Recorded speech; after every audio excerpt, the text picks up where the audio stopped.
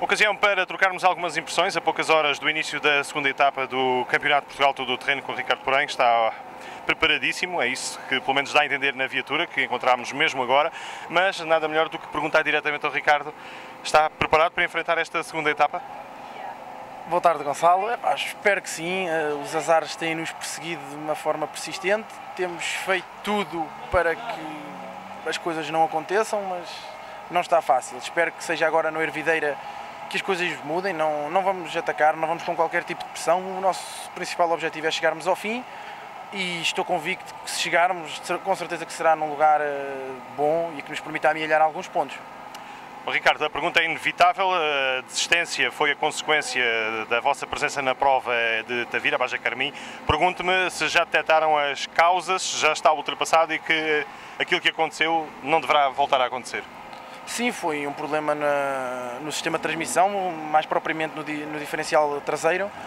Peças que, por sua vez, tinham sido montadas novas e estávamos com a plena confiança. Uh, aconteceu, se deu, o material uh, por vezes também tem defeitos ou não aguenta. Uh, está resolvido, estamos confiantes. Muito bem já estará então ultrapassada a situação. Em relação ao campeonato, sabemos à partida que há um resultado que se pode deitar fora. Vamos partir do pressuposto que foi esta. A partir de agora, o campeonato tem que ser encarado de outra forma. Sem dúvida, agora temos que terminar todas obrigatoriamente para tentarmos adicionar alguma coisa uh, de bom no final do campeonato. Uh, espero que o nosso jockey, assim se possa chamar, já, já tenha sido usado na prova do Algarve. Muito bem, e em relação ao campeonato, que ambições é que temos depois precisamente dessa primeira prova e do resultado que deitou fora? A vossa equipa aponta para que lugares no final deste campeonato de 2012? Eh, o meu objetivo era a discussão do título, sem dúvida, gostava muito. Acho que temos as, tínhamos as, ou temos as condições reunidas para tal, mas não sei, vamos ver, vamos ver como é que vai correr agora o Hervideira, que lugar é que fazemos e depois então se calhar definir melhor os nossos objetivos, eh, mas um lugar nos três primeiros sempre, pronto, era, era uma coisa boa. Em relação aos adversários, teve a ocasião de os ver também, no caso fora do, do seu carro. Uh, como é que antevê este campeonato de 2012 a nível do, dos seus outros adversários, dos outros contendores?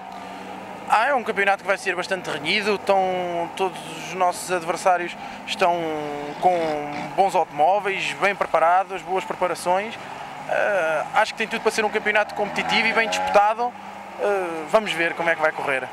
Em relação à temporada, eh, a nível de apoio está assegurada a presença no resto da temporada, sabendo-se nós que é natural, não digo que seja o vosso caso, mas sabendo-se natural das dificuldades financeiras, não só para quem corre, mas também, porque não, falarmos dos organizadores, mas a temporada está preparada, está planeada e está assegurada a presença no Campeonato de 2012. Uh, não é bem assim, Gonçalo. Nós não temos a temporada toda assegurada, infelizmente.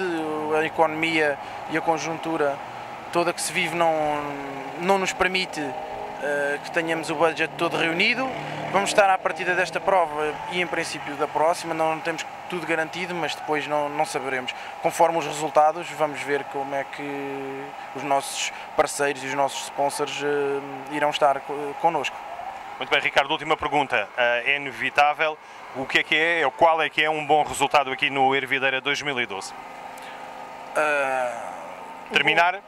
Terminar, principalmente terminar. Uh, um resultado que eu gostava, uh, não posso negar que sonhava com a vitória não é? e gostava muito da vitória, mas penso que um lugar nos três primeiros, se, uh, se terminasse, era fantástico, acho que era muito bom. E parece ser possível ou não?